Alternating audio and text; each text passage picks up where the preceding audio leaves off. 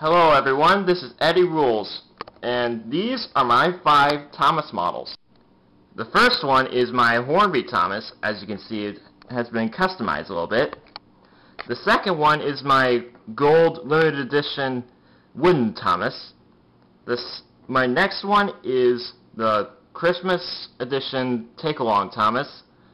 My second to last Thomas is the Ertl metallic Thomas. That and the last one is the Bluebird Thomas, which is the tiniest of the five. These five Thomas models are different in their own way.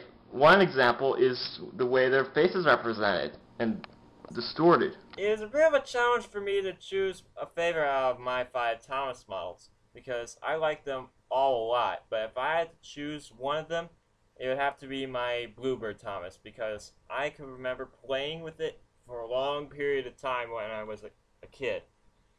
It is the tiniest and the cutest of the five models. So it's because it's so tiny, it can be be of a bit of a hazard when it comes to baby children.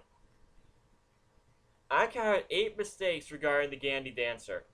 That's all from me. Goodbye, everyone.